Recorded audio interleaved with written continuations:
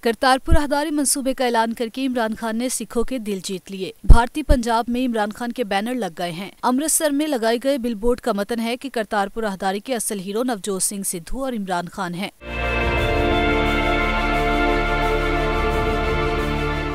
مودی سرکار کو سکھوں کی عمران خان سے محبت برداشت نہ ہوئی اور امرتسر میں لگے عمران خان کے بینرز اتار دیے بھارتی سکھ آگ وغولا ہو گئے مودی کے خلاف احتجاج کو اعلان کر دیا ਮੈਂ ਆਪਣੇ ਹਲਕੇ ਪੂਰਬੀ ਹਲਕੇ ਦੇ ਕੌਂਸਲਰ ਸਭਾਨਾਂ ਨੂੰ ਬੇਨਤੀ ਕਰਦਾ ਵਾਂ ਕਿ ਕੱਲ ਆਪਾਂ 11:30 ਵਜੇ ਕੋਠੀ